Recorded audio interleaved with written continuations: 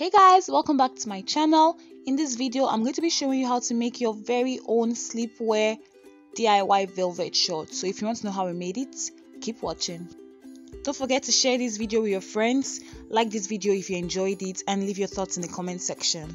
So let's get started. So right now I'm just marking out the length of my short which is 15 inches. And if you can notice I'm not starting out from the direct edge. I'm leaving about 1 inch before marking out my 15 inches. This is because the fabric this material is very stretchy. And so while cutting it out from the fabric store the edge curled in. And because I want definite edges on both the front and the back I am leaving about 1 inch. That is what I am doing. And then I'm using a ruler to mark it out but if your fabric is not the stretchy type if it doesn't curl in like mine then you don't necessarily have to leave about one inch to start off your length. But mine is anywho i'm just going to mark okay i've done that already. And i'm just measuring to make sure i have exactly my 15 inches and doing the necessary corrections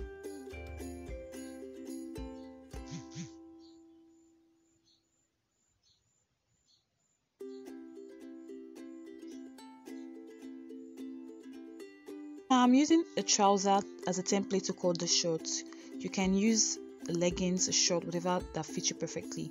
So my waistband is 2 inches and that's what I am marking. As you can see, I'm marking 4 inches because this short we are making, the first short we are making has a built-in waistband. So that is what brings about this 4 inches we are cutting out. 2 inches for the original length of the waistband and the other 2 inches to turn it in so while cutting out your fabric don't forget to leave seam allowance. We don't want our fabric to be too tight on us and making enough fit us. So now what i am doing is i raised the shirt to be able to cut it and then i replicated it on the other side. So what i am doing now is i'm just marking out exactly the same length i cut for the front piece for the back piece folding my fabric in full as well. Now the mistake i made was i cut a separate template for the front and the back which wasn't necessary considering my fabric is very stretchy. As you can see i'm measuring four inches like i did for the front four inches which is going to account for the waistband. Remember, remember that we are making a built-in waistband. So i'm measuring two inches and making sure that i have two inches just that's just what i am doing. Now if your fabric is stretchy like mine you don't need to cut a separate template for the front piece and the back piece. But if your fabric is not stretchy then you can do this method i am. But remember to cut exactly the same piece replicate exactly what you have for the front. Because i made this mistake. I'm the depth of my crotch for the front was very different from the depth of my crotch for the back. But I was able to go around this. It wasn't an issue. But just so you don't have issues like I did try cutting the front and the back piece exactly the same if you are cutting it separately. But my fabric was stretchy so I necessarily did not have to cut the front and the back piece differently. So if your fabric is stretchy then just cut the same piece. Just cut exactly the same piece.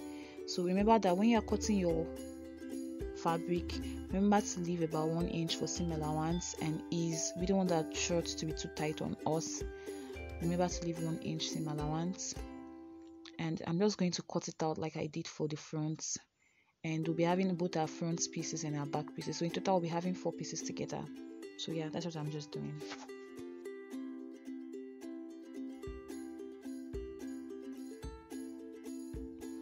Don't forget to give this video a huge thumbs up if you like it. Share this video with your friends who you think might also benefit from this video and comment what you think about this video and if you have questions, also leave it in the comments. If you have suggestions, leave it in the comments. Be more than eager to read and reply you guys. And I hope this video is as simple as I want it to be. With the front and back pieces together, sew the crotch area and then the hip line. And then do the same for the back, sew the crotch area and then the hip line as well. Sorry the camera is tilted. After sewing, one fabric should be on the right side and the other fabric should be on the wrong side. Now from the crotch area, put in one fabric into the other and then pin all round. So I'm just showing you guys again for those who might not have understood what I am doing. Put in the crotch of one fabric into the crotch of the other fabric now you remember that I said that the crotch depth of one of the back was different from the front. So start off with the edge and pin there. Not minding the length, just pin from the edge. Now after pinning from the crotch area, I'm going to pin straight up to the waist on both sides. Now a quick suggestion is that you start pinning from the waist and then meet up back to the crotch area because if you pin from the crotch to the waist, you'll be having one excess and one shortage. So to avoid that, after pinning the crotch area, pin the waist down to the crotch area and do the same for the other side. Pin from the waist down to the crotch area. Now after pinning all around there, you're just going to sew it. So what I'm doing now is I am pinning. Remember I said that I had issues with my pin container, like it's really difficult for me to, you know, pin things because I'm like, I'm sorry, I'm nervous, I don't know what I'm saying but I'll be doing a DIY on a pin cushion. I'll be doing a DIY pin cushion because taking pins from the pin container is really stressful. I don't know if some of you might have noticed that. So I'm doing a DIY on a pin cushion. So if you want to know how we are doing that kind of stuff, then hit the subscribe button, like this video, share with your friends, and switch on notification bell so that when I post, you are going to be the first to be notifi- notified. This is what I mean when I say that my pin container is giving me issues. Now, if you are a soulmate like me, then definitely you will need a pin cushion. Anywho, enough small talk. What I'm doing is I'm pinning all round. Like I said, start from the waist down to the crotch and do the same for the other side. The waist down to the crotch. And after pinning, because pinning is like a guide to help you sew correctly. So after pinning, then you sew all around. So that is what I'm going to do. And yeah just follow my hand and sew where the hand leads you. I'll be right back. So now after sewing, I'm trying to like amend my mistakes. So I'm starting off with the waist area. I'm trimming off the excess, and then after that, I'm also going to do the same for the depth of the crotch. So what I'm doing now is I'm folding the fabric in so that I'll be able to replicate it on both sides.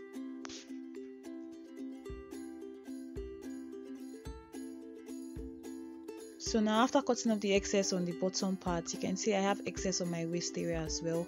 So I'm also going to do the same, cutting off the excess. I'll be able to have exactly the same piece for both the front and the back piece. And you can see modifying this wasn't really an issue. I still got my perfect shot, just that it became shorter. But the second DIY velvet shirt I made was longer, which was what I liked. I loved it, it was perfect. So now for the waist area, I'm just going to sew in the elastic. So now I'm just sewing the bottom part once and doing the same for the waist area as well because my fabric does not free. Now my waist measurement is 28, so I cut my elastic 4 inches shorter, which is 24 inches now for the drawstring part uh, this was the excess we cut out so i just stretched it and i tacked it to the middle of the short and this is the final look guys. I loved how this turned out. And wow you guys really try it out. Now on to the second short. This short has a separate waistband so that means we're cutting the waistband separately so what i'm doing is i'm just going to use this short to cut i'm going to use that template to cut the other short. and as you can see i added extra inches in length because this short was too short for me and i wanted it to be longer. So i just added extra inches to make it longer. And i can't remember the length but i'll check the length later and i'll write it out in the description box. So what i'm doing is i'm just doing exactly what i did cutting off with seam allowance as well. And remember that this is a separate waistband so i'm just going to stop exactly on the waist measurement not adding the waistband to it. I'll check out the length of both shirts and i'll write them out in the description box. I'm just going to slit the crotch area open as well. Now for this i did not cut the back and front separately. I just used one piece i had cut out to cut the back as well because the stretchy fabric they are all the same so now I'm just cutting off the excess and that's basically what I am doing. I have four pieces for the front and for the back two each and they are all the same. Considering we're using a stretchy fabric they are all the same. Remember this is a separate waistband short so we're going to be cutting the short separately.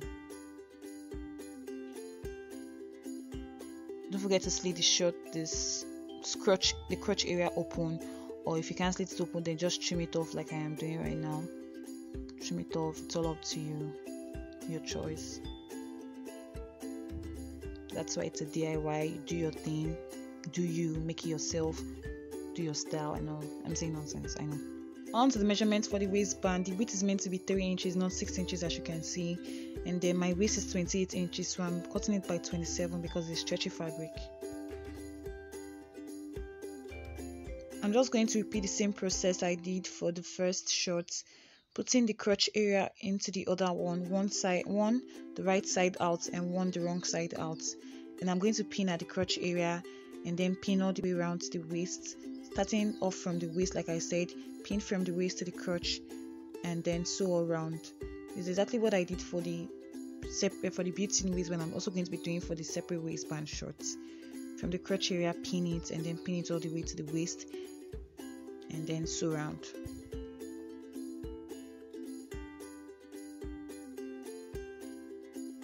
now for the length of the waistband the measurement is I said that my measurement was 28 inches and the measurement for this waistband is 27 remember i said i was only cut it one inch shorter because my fabric was stretching?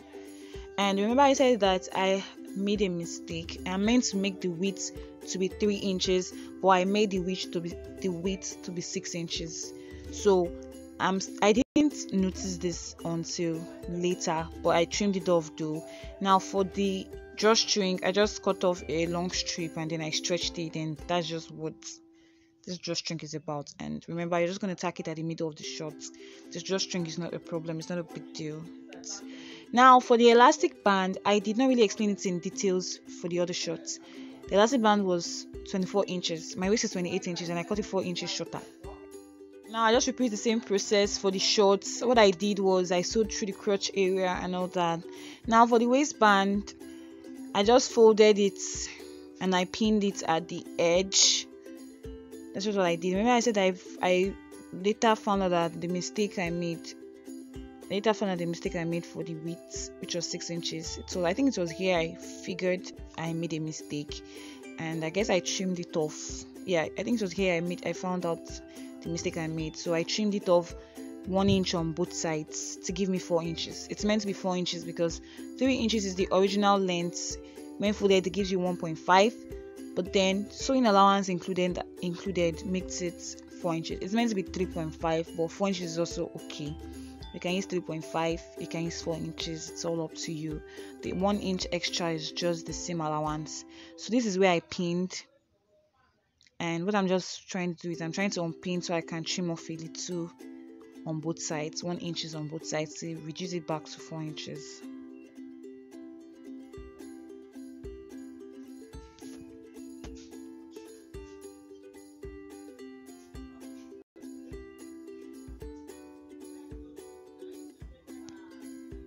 sorry about the background noise. I'm trying to film this despite the pressure because trust me everything is disappointing. I need peace and quiet while filming and it's not something i'm ever going to get anytime soon. So i just have to film this anyways. So after trimming this is the four inches i got. Remember i said you can use 3.5 but i use 4 inches? When you fold it, it becomes 2 inches and then when you sew it you can sew by one inch you can sew by 0.5 it depends on how many inches allowance you left. Sorry i'm shouting. Like i said i am not alone. And yeah basically what i'm just going to do now is i'm going to fold it back and pin it and sew across that area with the pin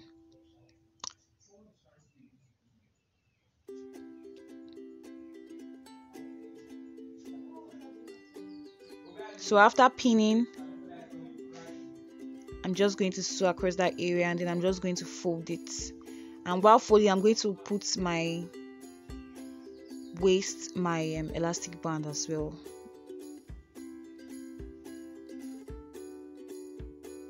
So i have extra drawstrings i can use for later projects. This is just how you do you cut off strips and then you just draw them and that's how you get your drawstring. So after sewing that i'm just going to fold it in half and then i'm going to add my elastic band. My elastic band is 24 inches so i'm just going to sew. Okay i'm folding my waistband in half. Okay i'm trimming off so that i don't have bulges. That's just what i'm doing. You can do that as well. Try not to trim on where you've sewn so it doesn't lose now i'm just going to fold it back in half. And then for the elastic band i'm just going to sew both edges together to seal it off. Then i'm going to add the elastic band into the waistband. And basically i'm just going to attach it to the short and then sew around. So I'm trying to get the midpoint of both my waistband and my elastic band. And I'm just going to notch it on the short as well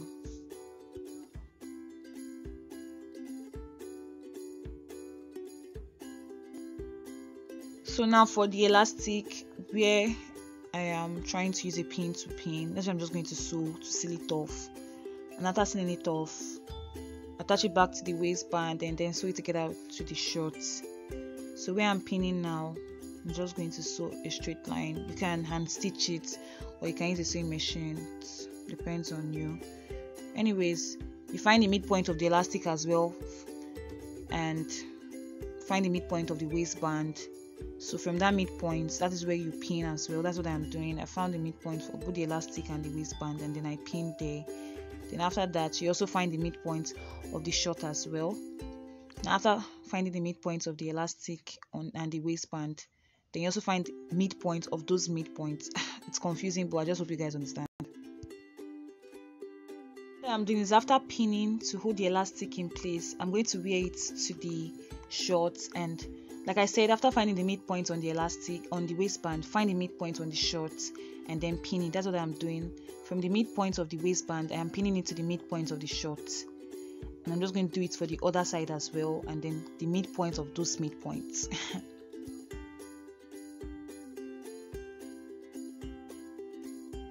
so after successfully pinning it on the shorts, the whole essence of pinning it is for you to be able to sew for you to be able to sew easily so you don't have hassle sewing. I'm stressed out. I just came back from a long tiring journey and I'm filming this. The best you guys can do is subscribe to my channel, like this video, comment with your friends. Honestly speaking, I filmed this video in the night and I filmed this video for over a week or two and right now I'm just editing it because I've edited this video twice and it's frustrating because I keep having issues anyways after pinning i'm just going to sew round where i've pinned. Remember to allow your elastic to, you don't want a situation where your elastic is you know different. Let's sew the bottom edges as well and then tack your drawstring to the midpoint of your short and voila you're done and this is the end result of the shorts one with the built-in waistband and the other with the separate waistband. And they both came out beautiful. Whichever one you try out trust me they're all going to be nice. Share this video with your friends. Comment what you think about this video and give this video a huge thumbs up if you liked it. See you guys next week. Bye